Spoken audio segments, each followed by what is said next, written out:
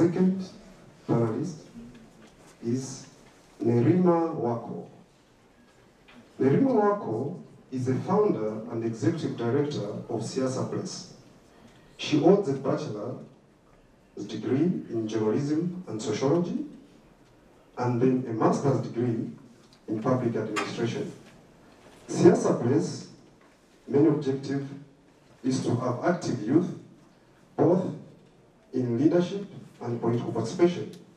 Currently, they work with the youth across the country, targeting the ages between 18 and 24. A loud applause, please. Stella, that was very powerful. So, uh, Stella has called us to make sure that we choose peace.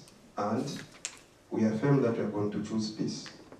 And once we choose peace, the 70% of us, we are sure that there will be peaceful elections in Kenya. We are going to give you the summary of what she said. It will be sent to you through emails. May I take this opportunity to invite our second speaker, Nerima Wako. Welcome, please, Mary.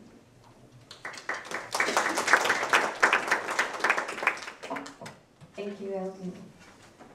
Good morning, everyone. Um, I think for for me it would be prudent to speak about the beginning of Siasa Place. We call ourselves Siasa because we found out that a number of us were very interested in politics, but our peers were not. And it was worrying because we thought that politics affects us every single day, but why were young people not wanting to engage with it unless when it came closer to an election? And not just young people, young women. So Siasa Place is founded by a group of seven people. Majority of us are women. And when we decided to register as an NGO, I specifically went to the NGO board with the name and it was rejected. Quite frankly, the paper was thrown on the floor by the receptionist. And she said to me, why would you want to be called Siasa? Makes no sense. You're not a political party, and besides, that name is illegal. So I went back home, spoke to my dad because he seems to know a lot about the law. And I said, is it true siasa is an illegal word? And he looks at me and he says, no, it's not written anywhere, but Moi, Moi refused anything to be called siasa when he was president, specifically young people. So that name has sort of been banned, but not officially banned, but nobody uses it anymore. The next day, I go back with the same name. And the lady looks at me like, you can't be serious, you can't register this. And I say, why not? It's not written anywhere that I cannot. So she looks at me, she laughs, uh, she takes it to the back, and she takes it to the executive director, who calls me into his office. And he says, young lady, why do you want to be called Siasa Place? And I said, that's it. Young people don't want to be associated with Siasa because they think it's something negative. How come nobody stopped Mark Zuckerberg from using Facebook or Twitter? It sounds like a stupid name, but that's his brand. The same thing, we want that brand.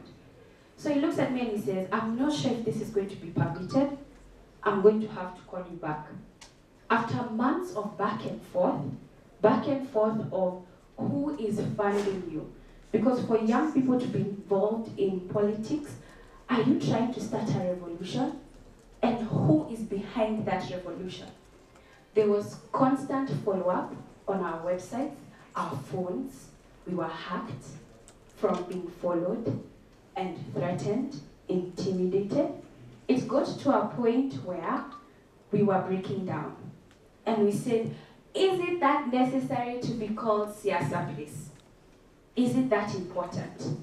When I finally whined and complained to almost everybody that I know, and camping at the NGO bureau for months, they finally see that we're too stubborn and there's actually nobody behind us. They give us our certificate. So what am I trying to say? As much as we're the majority, as much as we're young people and we might not believe in our voice, there are systems that are blocking young people to participate. That's there. So what do we do? We engage young people in electoral processes and the constitution, but we use avenues that young people engage with. We use Twitter a lot. I've been on Twitter just now as Stella was speaking, and we have a lot of our forums and discussions there, but we also take them to the community. A lot of times when we go to places, like for instance, we're in Majengo, and we were talking about the constitution of Kenya, and someone stood up and said, Sasa, like, sasa hii katiba itanisaidiaje? How is this constitution going to help me to eat?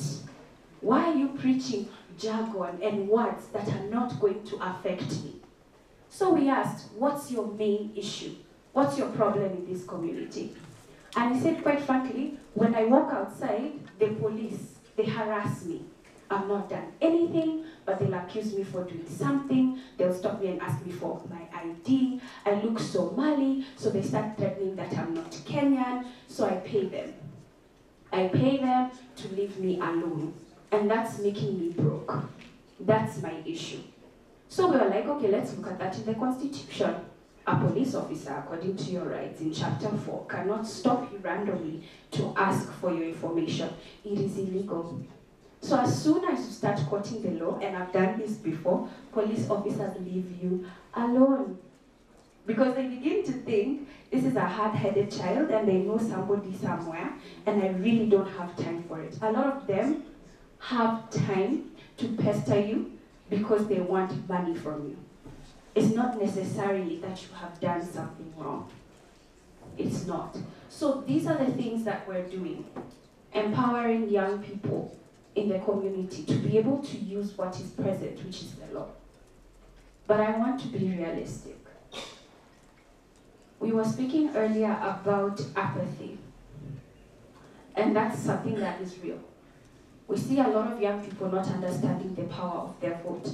In fact, some of them coming and telling us, what difference does it make? We've seen two large parties launch manifestos during prime time. That's a big deal. It means control, money. A lot of money is being used to campaign. In fact, it's so much money, our parents cannot even figure out how we're going to deal with it. It's not even in the billions, it's in the trillions. And so when they tried to put a campaign finance act, it was put on pause until 2022. But those are some of the questions that we're going to be dealing with as young people. We're going to be dealing with corruption. Corruption is so much, it affects you every single day. But how are we going to deal with that? Those are some of the things that are going to be passed on to us. So when we educate young people, we don't tell them that, yes, you know what to do, vote. Vote for a good leader. We all know those speeches. We all know what's right and what we're supposed to do. But we don't because of situations. A lot of young people don't have access to opportunity or business, so they utilize it. They milk it. We know enough people who have dropped out of school to campaign. They're out campaigning, making up to 100000 a month. Because that's what they're going to use to pay for school fees. They're not concerned whether that leader is good or not. So those are the honest conversations that we're having. And we shouldn't even try and evade trying. I know families who they're completely going to vote against what their parents are telling them to vote. And they're scared. They've been threatened that they'll be kicked out of the house. But to them, they're like, this is who I'm voting for, and this is who I want to vote for. So it's about speaking up. Do we have the spine, the backbone to speak up? As young people, do we feel as much as we have the numbers, do we feel that we have the strength to control the vote?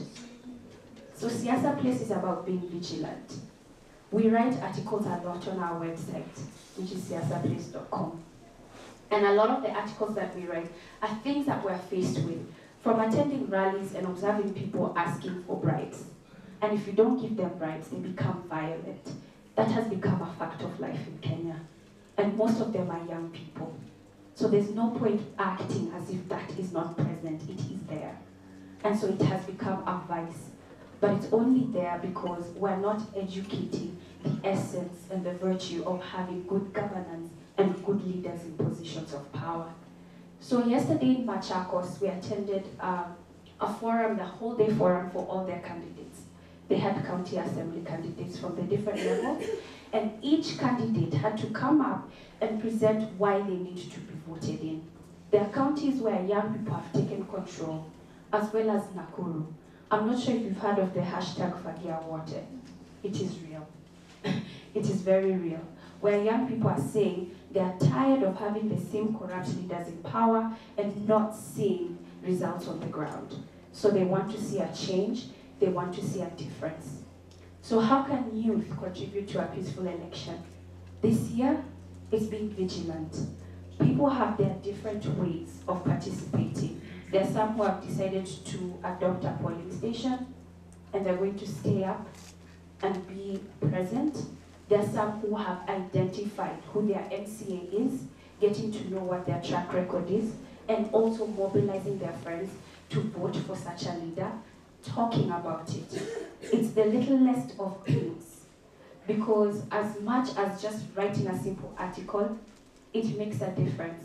If you look at your newspapers today, if you look at the opinion pieces, you will rarely find a young voice. Not just a young voice, a woman. So that shows you a quick reflection that if our news and our media completely ignores the majority of the population, you need to speak up. And so we fight for those, face, those spaces, and that's what we push for. Or even being on television in a panel, fighting for that. Because I remember the first time that I was, there were four professors, and one of them looks at me and says, Are you sure you're in the right panel? We're discussing politics, not entertainment. And that is the reality of our country.